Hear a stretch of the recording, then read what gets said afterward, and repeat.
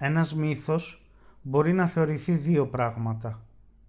Μια ιστορία που λέγεται για να εξηγήσει κάτι πολιτισμικά σημαντικό και σχετικό ή μια ευρέως διαδεδομένη πεποίθηση που είναι ψευδής. Έτσι, ένας μύθος μπορεί να είναι μια συσκευή που χρησιμοποιείται για να μεταδώσει χρήσιμες αλήθειες ή να χρησιμοποιηθεί για τη διάδοση ψεμάτων.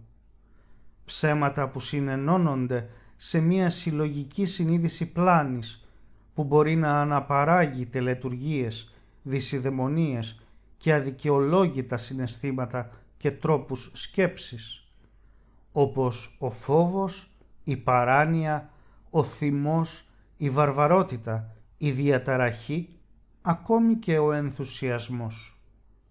Πώς γίνεται κάποιος παρανοϊκός με την ανατροφή του, μέσα από τη γενετική, ποιους μύθους για την ζωή επινοούμε ως είδος για να κατανοήσουμε γιατί είμαστε εδώ, γιατί συμβαίνουν τα πράγματα; Μήπως όλοι μας είμαστε παγιδευμένοι σε κάποια μορφή πλάνης, αλλά δεν είμαστε σε θέση να το αντιληφθούμε επειδή είναι τόσο συνηθισμένο; Πώς μπορείτε να διακρίνετε τη διαφορά μεταξύ της ψευδέστησης και της πραγματικότητας. Ίσως δεν έχει σημασία αν η πλάνη είναι καλοήθης.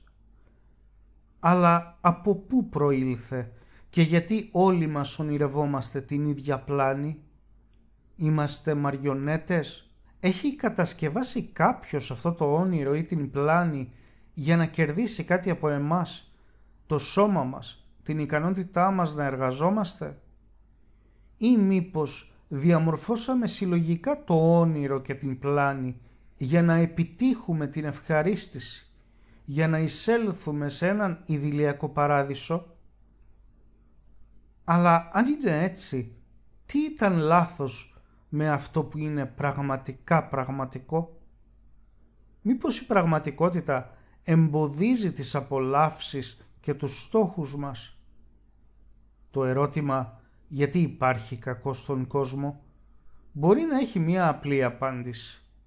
Ότι οι άνθρωποι ονειρεύτηκαν ένα όνειρο, ένα ωραίο ευχάριστο όνειρο, αναδιαμόρφωσαν το περιβάλλον τους ώστε να ταιριάζει στο καλούπι και όταν κάτι πραγματικό μπήκε εμπόδιο στην πραγματοποίηση του ονείρου, έβαλαν τέλος σε αυτό.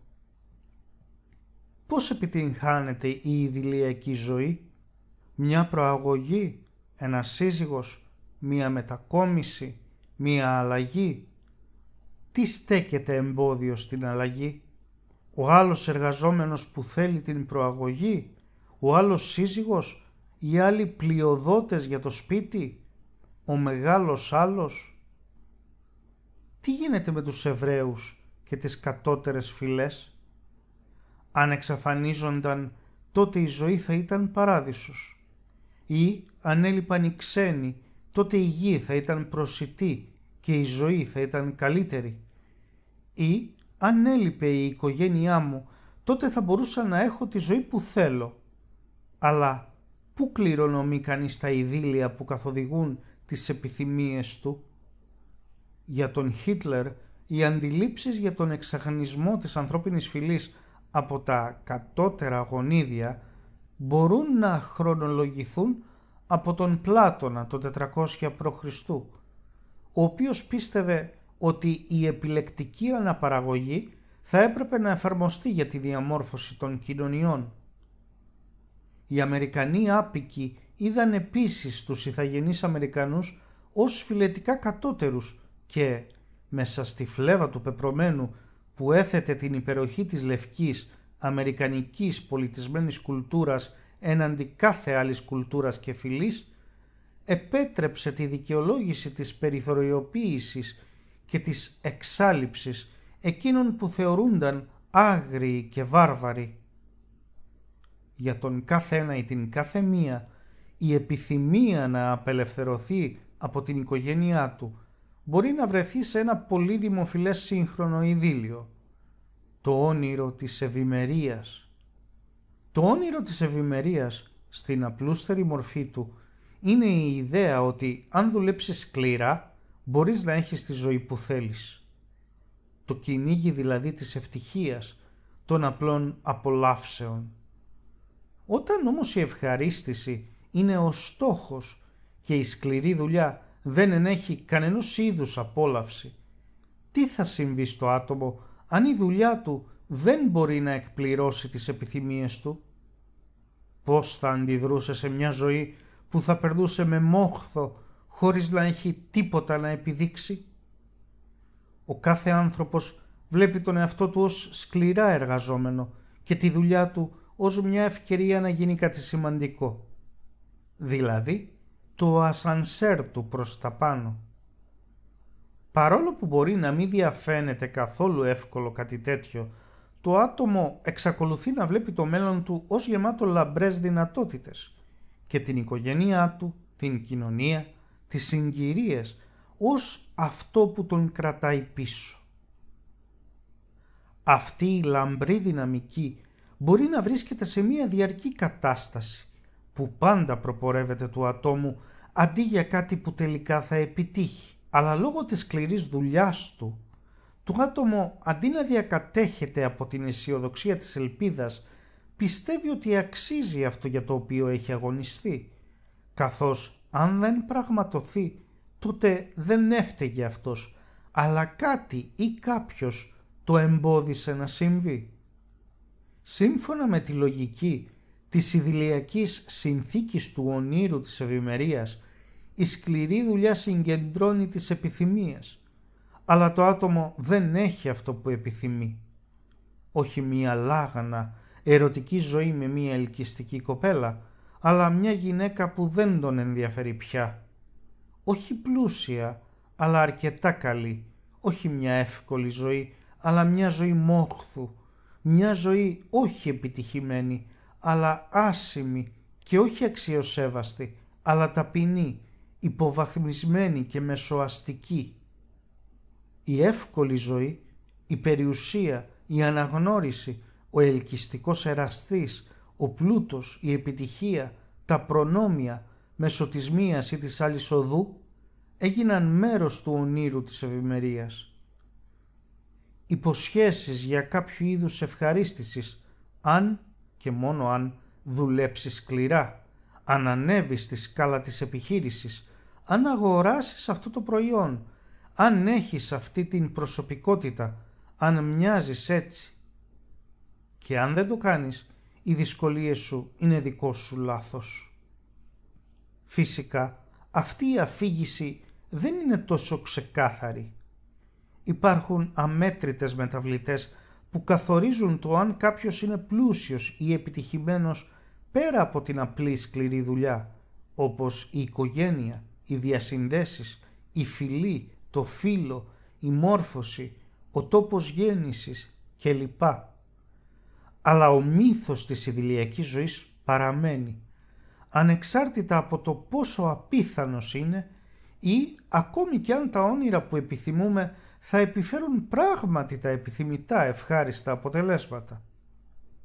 Όταν λοιπόν οι άνθρωποι χωρίς ευκαιρίες ή μέσα δεν μπορούν να αντέξουν οικονομικά τα ειδήλια που τους προπαγανδίζουν, την τέλεια εικόνα απόλαυσης που κρέμεται μπροστά τους και τους σωθεί να τρέξουν για να την αρπάξουν, τι θα κάνουν για να αποκτήσουν αυτές τις φαντασιώσεις του ονείρου της ευημερίας; Θα κλέψουν, θα πούν ψέματα, θα εξαπατήσουν, θα ταλαιπωρήσουν, θα προδώσουν, θα βλάψουν, θα τραυματίσουν, θα σκοτώσουν.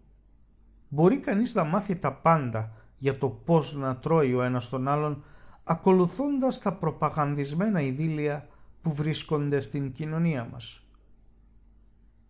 Γιατί λοιπόν μας πουλάνε τον μύθο του ονείρου της ευημερία, γιατί οι διαφημιστές, οι εταιρείες και οι κυβερνήσεις θέλουν όλοι να προσπαθούν ενωμένοι προς ένα είδος φαντασίωσης της απόλαυσης, είναι για να είναι υπάκουοι και να εργάζονται για τους σκοπούς που έχουν στο μυαλό τους δεν αποτελεί μυστήριο ότι όταν γεννιόμαστε διδασκόμαστε τα ήθη, τα έθιμα, τις παραδόσεις και τις πρακτικές των ανθρώπων γύρω μας. Μας λένε να συμμετέχουμε σε αυτές τις τελετουργίες, αλλιώς θα υπάρξουν συνέπειες. Εξωστρακισμός, αποτυχημένες σχέσεις, χαμένες ευκαιρίες, μία προσωπική κόλαση στο εξωτερικό της κοινωνίας περιμένει όσους δεν ανταποκρίνονται και δεν συμμορφώνονται με τα πρότυπα που επιβάλλονται. Υποχωρούμε φυσικά, ίσως χωρίς ιδιαίτερο εξαναγκασμό. Υπογράφουμε στον εαυτό μας, στα συστήματα που υπάρχουν, μια σειρά από κοινωνικά συμβόλαια. Ένα κοινωνικό συμβόλαιο για κάθε μία από τις σχέσεις μας. Μία σειρά από κανόνες για την τήρηση ορισμένων τρόπων συμπεριφοράς και σκέψεις μεταξύ μας και των εργοδοτών, των συναδέλφων, των φίλων, των γονέων και των ερωτικών συντρόφων. Αλλά πόσα από αυτά τα συμβόλαια είναι πραγματικά ωφέλιμα για εκείνους που τα συνάπτουν; Ποιος ωφελείται περισσότερο, ο εργαζόμενος ή ο εργοδότης, ή από πάνω ή η από κάτω, ο σύζυγος ή η σύζυγος, αν γεννηθείς σε ένα πατριαρχικό σύστημα στο οποίο ο άνδρας κατέχει την εξουσία, ποιος σύντροφος θα καταλήξει καλύτερα; Σε τι παραχωρούμε τους εαυτούς μας, σε μια ζωή γεμάτη κακομεταχείριση και κακοποίηση, υποταγή και υποτίμηση; Στην επιδίωξή μας για τις ιδηλιακές απολαύσεις, τι συμβόλαια είμαστε πρόθυμοι να υπογράψουμε, σε τι ή σε ποιον είμαστε διατεθειμένοι να παραδοθούμε προκειμένου να πάρουμε αυτό που θέλουμε; Μπορεί να επιθυμούμε αυτό που προσφέρουν αυτές οι οντότητες, αλλά αυτό που θέλουν σε αντάλλαγμα είναι η ζωή μας. Ένα σώμα για να δουλέψει, ένα μυαλό για να επεξεργαστεί, μία ψυχή για να την οικειοποιηθούν με όποιον τρόπο θεωρούν κατάλληλο. Ποιο είναι το κόστος, τι θα απογίνουμε μόλις συνάψουμε τις συμφωνίες μας, σε τι απορροφούμαστε και σε τι μας διαστρέφει; Όταν παρασυρώμαστε από αυτό που προσφέρει ευχαρίστηση, συνάπτουμε ένα συμβόλαιο και στη θέση της απουσίας της απόλαυσης, εκτός της στήρησης των όρων του συμβολέου, δεν είναι να απορεί κανείς γιατί σχηματίζεται μέσα μας η τρέλα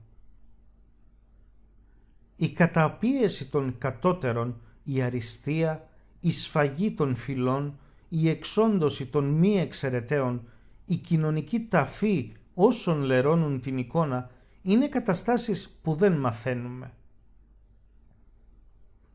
Επικεντρωθείτε στα επιτεύγματά μας. Περάσαμε νόμους για τα δικαιώματα ευπαθών ομάδων, πετύχαμε ίσα δικαιώματα για τις γυναίκες, δίνουμε επιδόματα στους ανήμπορους, πήραμε τόσα στρατιωτικά αεροσκάφη, πιάσαμε τους τάδε οικονομικούς δείκτες. Επικεντρωθείτε στα επιτεύγματα και ξεχάστε τα προβλήματα. Δεν ζούμε σε μια εξαιρετική χώρα, δεν είναι υπέροχη, δεν χρειάζεται να μένουμε στα αρνητικά. Όλα είναι εντάξει. Αν εστιάζουμε στην επιφανειακή παρουσίαση της πραγματικότητας που μας ξεπνάει, μπορεί να μας διαφύγει το κακό που κρύβεται από κάτω. Καθημερινά γύρω μας ή στους εαυτούς μας απεικονίζεται η καθοδική σπήρα κάποιου που ζει για τις ιδηλιακές απολαύσεις και δεν έχει άλλη πηξίδα με την οποία να προσανατολίζεται. Μία συνθήκη που οδηγεί τους ανθρώπους αδυσόπιτα στο σημείο που πρέπει να πατήσουν επιπτωμάτων. Η διαδρομή της τρέλας, χαμένη στον λαβύρινθο, ανίκανη να ξεφύγουμε. Στον Φάουστ ένας δαίμονας εμφανίζεται για να του προσφέρει ειδονή με αντάλλαγμα την ψυχή του. Αν ένας διάβολος μας βάζει σε πειρασμό να αμαρτάνουμε, εξακολουθούν να είναι οι προτιμήσεις μας που μας οδηγούν προς αυτή την κατεύθυνση. Η καταπίεση των αδυνάτων, η εξαπάτηση των ανυπεράσπιστων, η ευκαιρία να καταβροχθήσουμε, η ευκαιρία για την ιδηλιακή ζωή χωρίς να έχει σημασία το κόστος, η ευκαιρία να τα έχουμε όλα, η ευκαιρία για μεγαλύτερες απολαύσεις που θα έρθουν. Πώς μπορεί κανείς να ξεφύγει, να μην έχει αδυναμία, να έχει επίγνωση της παγίδας και να την αποφύγει; Πώς να έχουμε την επίγνωση των τεχνασμάτων όταν ταυτόχρονα αποπλανιόμαστε; Μία γυαλιστερή βιτρίνα με απολαύσεις και υποσχέσεις για μελλοντικές απολαύσεις. Πρέπει να έχουμε βοήθεια, υποθέτω, για να δούμε πέρα από την επιφάνεια. Τα ίχνη του παρελθόντος, τα επιτεύγματα, τα λάθη, η ευδαιμονία, τα προβλήματα, το καλό, το κακό, δημιουργώντας μονοπάτια για να ακολουθήσουμε, νοητικές αρένες που πατήθηκαν από τους προηγούμενους, όπου χάθηκαν, όπου παρασύρθηκαν σε δεδαλώδεις μορφές σκέψης, όπου έχασαν το μυαλό τους. Περιτριγυρισμένοι από τους νεκρούς που δεν θα έπρεπε να έχουν λόγο στη ζωή μας, αλλά παρόλα αυτά μας κρατούν ριζωμένους στην ψευδέστηση της πραγματικότητάς τους. Η αλήθεια είναι ότι όλοι μας έχουμε ένα είδος τρέλας. Τα πάντα στο μυαλό μας έχουν μία προέλευση. Αυτά που μάθαμε και συνεχίζουμε να μαθαίνουμε αποτελούν τη σύσταση των σκέψεών μας. Αυτό που είμαστε πηγάζει από τους γονείς μας και τους γονείς των γονιών μας και ούτω καθεξής. Οι νεκροί πρόγονοι εξακολουθούν να μιλούν, εξακολουθούν να έχουν λόγο στη ζωή μας και στη ζωή εκείνων που ακολουθούν μετά από εμάς. Αν κοιτάξουμε μόνο το παρόν μας, αυτό που έχει κατασκευαστεί για εμάς, τη χώρα, τον πολιτισμό και την πραγματικότητα που έχτισαν οι προηγούμενοι, μπορεί να μας απορροφήσει ένας κόσμος όπου αν απλώς ενδώσουμε στον πλασματικό σχεδιασμό του κάθε κακό για λόγους ευχαρίστησης είναι επιτρεπτό. Θα μπορούμε πραγματικά να κληρονομήσουμε την τρέλα των προγόνων μας αν καταλήξουμε να χαθούμε στον λαμβύρινθο που έφτιαξαν οι προκάτοχοί μας πρέπει να είμαστε σε θέση να βρούμε μία διέξοδο και να ακολουθήσουμε με κάποιο τρόπο τον δρόμο που μπήκαμε. Να απαλλαγούμε από την ψευδέστηση. Να βρούμε μία διέξοδο από τη χώρα των εσωτερικά νεκρών.